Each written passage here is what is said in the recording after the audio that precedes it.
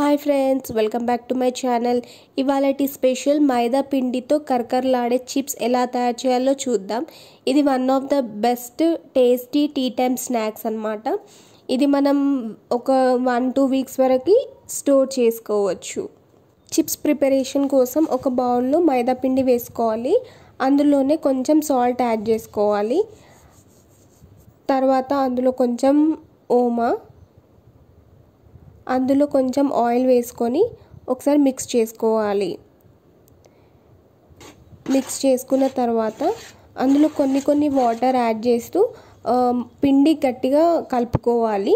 మనం చపాతీ పిండి ఎలా అయితే కలుపుకుంటామో ఆ విధంగా కలుపుకోవాలి. ఇలా కలుపుకున్న తర్వాత దీన్ని ఒక ట్వంటీ మినిట్స్ పక్కన పెట్టుకోవాలి. తర్వాత చిన్న చిన్న బాల్స్గా చేసుకొని చపాతీలాగా రౌండ్గా చేసుకోవాలి.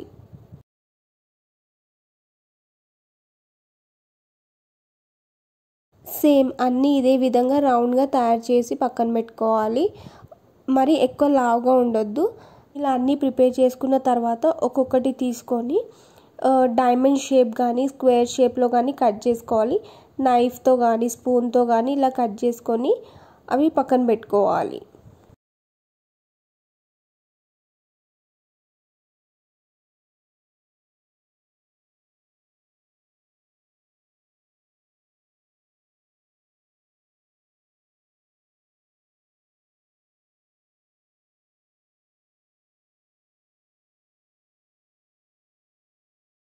ఇలా కట్ చేసుకున్న దాన్ని ఒక్కొక్క పీస్ తీసుకొని పక్కన పెట్టుకోవాలి.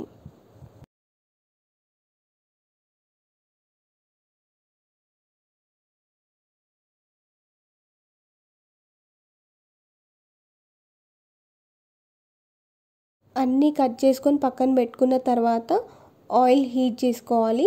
ఆయిల్ హీట్ అయ్యాక అందులో కొన్ని కొన్ని తీసుకుంటూ ఇలా వేసుకోవాలి.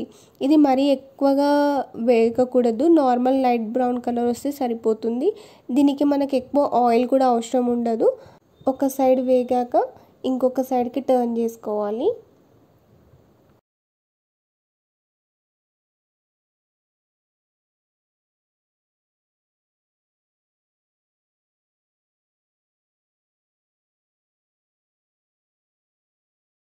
చూడండి చిప్స్ అనేవి కొంచెం కొంచెం కలర్ చేంజ్ అవుతున్నాయి వేగాయి. ఇలా ఈ కలర్ వచ్చేలాగా వేగిన తర్వాత పక్కన తీసుకొని ఒక ప్లేట్లో వేసుకోవాలి. అంతే సింపుల్ అండ్ టేస్టీ మైదాపిండితో స్నాక్ ఐటమ్ అయితే రెడీ అయిపోయింది. పిల్లలు అయితే ఇలా కూడా తినొచ్చు. లేదు కొంచెం కారం ఇష్టపడే వాళ్ళు పైన కొంచెం కారం సాల్ట్ వేసుకొని ఒకసారి మిక్స్ చేసుకొని అలా కూడా తినొచ్చు. ఈ రెసిపీ కనుక మీకు నచ్చినట్లయితే తప్పకుండా లైక్ చేయండి షేర్ చేయండి అండ్ సబ్స్క్రైబ్ చేయండి.